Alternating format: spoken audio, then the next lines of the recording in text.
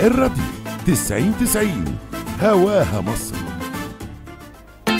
بيقول لك مارك هيخلي الفيسبوك اسمه فيس عشان المصريين. دول بيفكروا يضيفوا لونين لإشارة المرور. واحد اتجوز مخدته مستني منه إيه يعني؟ نادية هي اللي فازت بمسابقة ملكة جمال ال dog face. أخبار على طريقة المعلم في كلام معلمين مع أحمد يونس على الراديو 90 90 مصر الخير تنمية الإنسان مهمتنا الأساسية. أخوات الوادي Sisters of the Valley. لقب أختين آه، كيت عندها 56 سنة والأخت دارسي عندها 24 سنة. فرق شاسع بين 34 أسف سنة. الاثنين عاملين مشروع عبارة عن متجر أونلاين ل- لتجارة المخدرات بكل أشكالها وأنواعها. فقال لك ده ال sister goal أو ال sisters goals فاختار بقى يعني. فبيقول لك بيقول لك الغريب إن هم آه، أطلقوا هذا المتجر وبيلاقي رواج غير طبيعي والحكومات الأمريكية وال والعالمية عموما يعني في كل الدول العالم بيقول لك غضت الطرف عنه مش عارف ليه. فبيقول لك ال website بتاعتهم آه، أكثر من أكثر المواقع تداولا ودخول عليها من المستخدمين. القصة مش إن هم بيدخلوا يشتروا أونلاين بس والكلام ده لا الناس معجبة بطريقة الاختبارات اللي بتقوم بيها آه، دارسي والأخت الثانية اسمها كيت بيقوموا بيها لقياس جودة المخدرات. أنا ما أعرفش إحنا وصلنا لإيه وربنا يستر على علينا وطننا يا عربي من الحاجات العجيبة اللي مش حلوة دي. ملناش في الجو ده.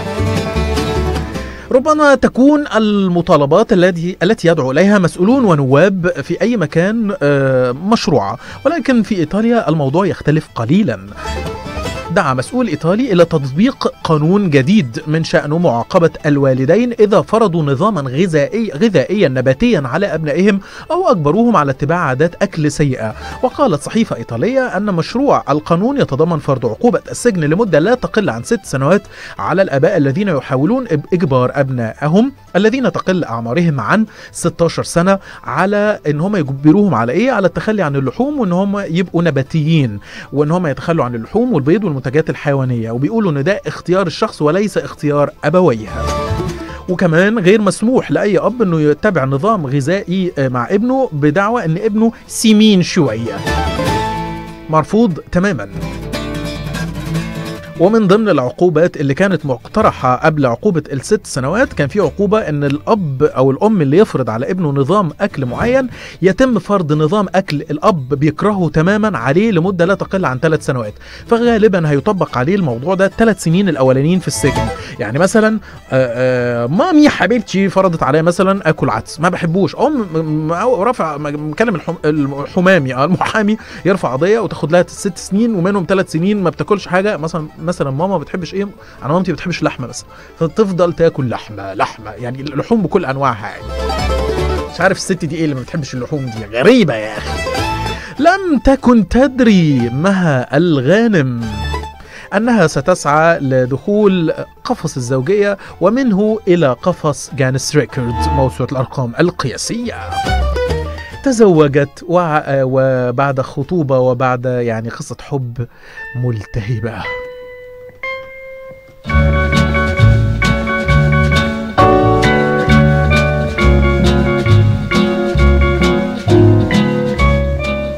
ولكن ولكن يبدو أن قصة الحب آه، كانت واخدة مسار مختلف. حبته واتجوزته وأول ما دخلت شقة الزوجية لقت إنها على أعتاب دخول موسوعة الأرقام القياسية. إيه؟ دخلتها إزاي؟ هقول لك عمل إيه إيه اللي حصل؟ يوم الفرح آه، بعد ما دخلوا ال- الشقة بتاعتهم لقت العفش كله اتشال من الشقة بالكامل والبيت عبارة عن كراسي عدد من الكراسي. يا ترى عدد الكراسي اللي يدخلوها موسوعة الأرقام القياسية كام؟ كل واحد يتخيل. لقت لقت جوزها شال العفش كله وحاطط لها يا حياتي يا حياتي حاطط لها آه، كراسي كتير جدا وقال لها ندخل بيه موسوعة الأرقام القياسية ومش بس كده ده اتفاجئت مجرد ما دخلوا إن مندوب جانس ريكورد جاي علشان يسجل معاهم ويقول لهم المطلوب منكم في الفترة اللي جاية. عايز كل واحد يتوقع بقى مها الغانم جوزها حط لها آه، السم. حط لها آه، قد إيه قد إيه كراسي في البيت.